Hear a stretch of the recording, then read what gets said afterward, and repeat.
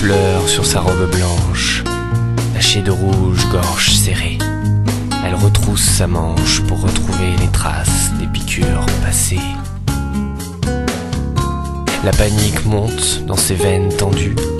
Elle se précipite avec agilité et vide son phallus si propre et défendu, puis savoure les festivités.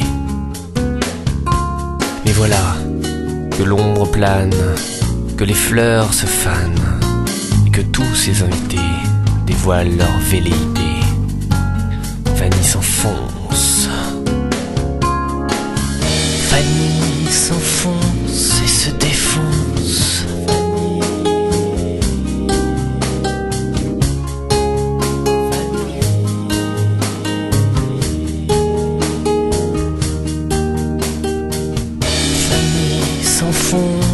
Se défonce.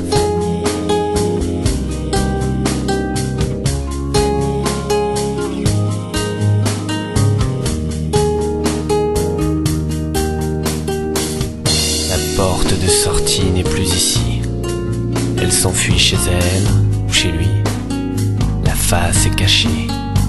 Le diable s'annonce. Enfin, Fanny s'erre au frais du vent. Elle, gisant, savant ou délirant, perce son sang. Comme le veut son temps. Comme le veut son temps. Fanny s'enfonce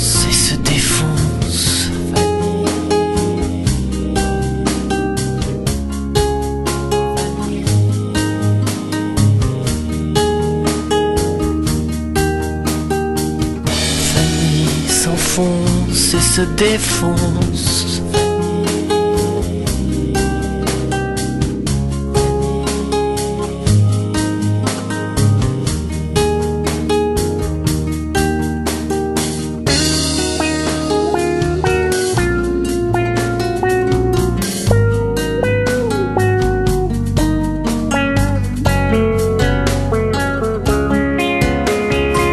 Ce soir, Fanny chante à tue-tête, rit, se répète sans tête, comme pour croire encore qu'elle aime ce corps à corps. Fanny revient à la lumière, preuve déguisée de son existence pétrifiée. Elle se rappelle qu'elle fut faible, guerrière. Fanny s'enfonce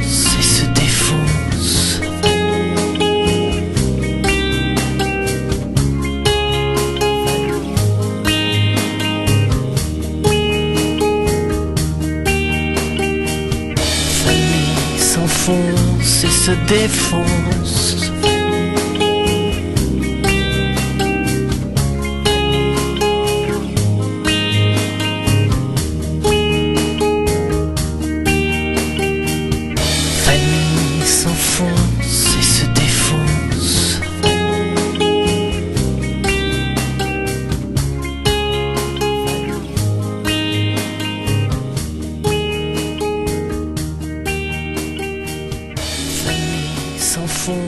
Et se défonce.